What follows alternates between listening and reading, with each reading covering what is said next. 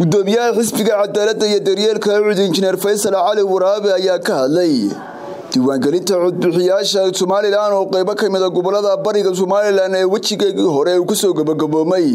Waxaana uu gudoomiyaha faysal cali waraabe u mahad celiyey komishanka doorashooyinka qaranka iyo xukuumaddu sida ay isaga howl saartay. Qabashada diiwaangelinta codbixiyaasha. Diiwaangelintii si nabadgelyo ah oo wanaagsan oo buuxda ayuu ilaahay inoogu dhameeyey waxaana aad iyo aad u hambalyanaynaa komishanka doorashooyinka ciidamada ammaanka odayaasha ka shaqeeyey iyo howlwadayaashii ka shaqeeyey dhallinyartii jaamacadaha ee suurtogeliyey qalabkii diiwaangelinta. Sida habsamida u dhameeyey baan u mahadnaqaynaa. Waxay noqotay mar labaad inaynu inagoo mid ah hal ummad ah isjecel inaynu hawshii diiwaangelinta dhammaysanay taasi waxa weeye taynu ku dhaafnay wadamo badan oo jaarkeena ah. Waxaa iyadana mahad leh dowladdoo si hagar la'aan ah wixii kharasha ku bixisay oo aan cidna baryin isku tashatay diiwaangelintii. Ayayguna u mahadnaqaynaa madaxweynaha oo isla maanta ay ka dhan tahay inay doorashada qabtana waanu hambalyanaynaa insha allahu tacaala waxaan jecelahay inay doorasho wanaagsan noo dhacdo. Waxaan iyaguna hambalyanaynaa dhallinyaro ka shaqaysay waddada tabca oo noo suurtogelisay in la qabto xeebtii maydh iyo xiis oo dibadda jooga.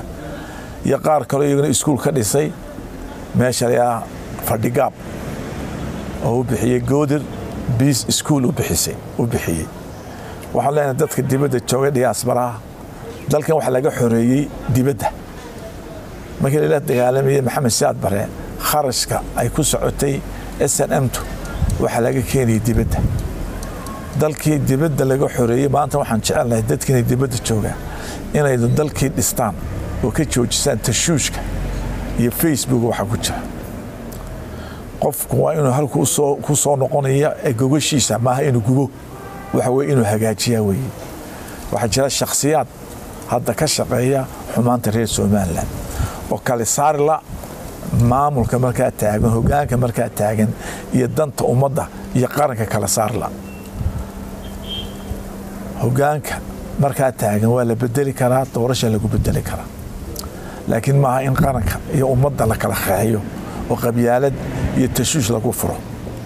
Waxaan leenahay taa ina ka waantoontaa weye dadkina dibaddu ku dayataan dhallinyartaa dibadda joogta dadkaa dibadda jooga ee tabca sameeyey ee suurtogeliyey in dhul aan dowladaba tegin oo imanka la tegey waxaa tegay wasiirkii wasiiraha tegey maandalota maydh agaasimihii guud baa tegay caafimaadka. Waxay soo arkeen dhul aan caafimaad ka jirin dhul aan waxbarasho ka jirin bay soo arkeen. Waxaana taa hor joogtay wadda la'aanta sidoo kale injineer faysal cali waraabe waxa uu sheegay in ka xusbi ahaan ay hadda gudageli doonaan kala reebista musharaxiinta iyagu doonaya inay u tartamaan doorashooyinka golayaasha deegaanka iyo wakiilada. Waxaana uu bulshada reer somalilan ugu baaqay inay codkooga siiyaan cidda ay u arkaan inay dan u tahay qaranka iyo waxqabadka somalilan waxaan jecelnahay fayska labaad waxa weeye inaynu soo kala saarno musharaxiintii. Maanta waxa weeye waa laga baxay yaa reer hebelahay maanta waxaa la taagan yahay war yaa wax qaban karaya yaa karti leh yaa xafiidu amiin ah ayaa laga doonaya. Xafiidu xakiim waa qof aamina aqoontina leh baa la doonaya. Waxaan jecelahay in maanta dadku ku footeeyo qofka wanaagsan ilaahay ka baqayo. Dumar baa jira iyagana musharaxan dumarka waxaan jecelnahay in iyagana gacan la siiyo. Waxaa iguna jira dadka laga tirada badan yahay iyagaa waana gacanta la siiya. Waa inaanu dhisnaa dowlad iyo qaran loo wada dhan yahay oo loo siman yahay inaanu dhisnaa oo cadaalad ku shaqeeya.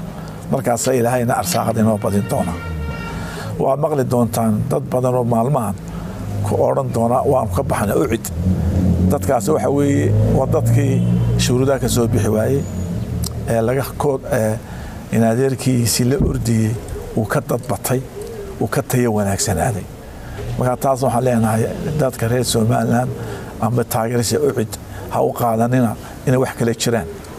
Waa kala hufnaantunbaa ay ku soo bixi waayeen dadkaasi wax kaloo dhibaato jira ma jiro. Waxaan leenahay ciidamada qalabka jira ee nabadda ka shaqeeyey ee ka suurtogeliya meele aan hore uga suurtogelin waan hambalyanayna waxaan si fiican u hambalyanayaa deegaamadii hore aan uga dhici jireen sida laascaanood dibaddeeda sida dhahar sida badhan ee maanta si gobonnimo ah gartay dantooda inay tahay inay talada dalka ay ka qayb galaan. Oo iskaga tegey tashuushkii iyo brobagandihii ka socday jaararka dhulkan jaarka leh soomaaliya. Markaa walaa waxaan leenahay ha loo diyaargaroobo kala saaridii iyo soo saaridii musharaxiinta khayr qaba ilaahay ha ka dhigo qaar khayr qaba ilaahay ha ka dhigo qaar dadkii diinta u shaqeeya ilaahay ha ka dhigo.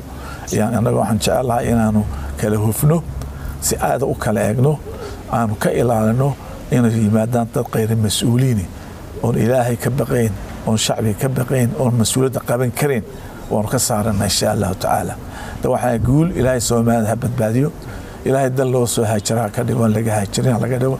Ilaahay naga dhigo ummad iswanaaga isfarta oo xumaanta isnahaysa ilaahay naga dhiso ma ogtahay macmil in shirkadda somtal ay kuu daafurtay wejigii labaad ee abaalmarinta shanta kun ee hadiyado taasi ay ku jiraan toban baabuur oo cusub oo huyundaya mobaylo talaagado khasaalado tablets dhammaantood baa shirkadda samsung dahab iyo dalxiis hoteelada damal ah ayaa kugu jirta hadiyadaha iyo sidoo kale accounts dahabshiil ah oo ay lacagi kugu jirto. Haddaba si aad uga mid noqotid guulaystayaasha fadlan si joogtaa u isticmaal adeegyada somtel sida ku hadalka internetka iyo adeega casriga ee idahab mar kasta oo aad isticmaashid adeegyada kala duwan ee shirkadda somtel waxaad fursad u helaysaa inay heladaadi asxaabtaada ay kuu codeeyaan.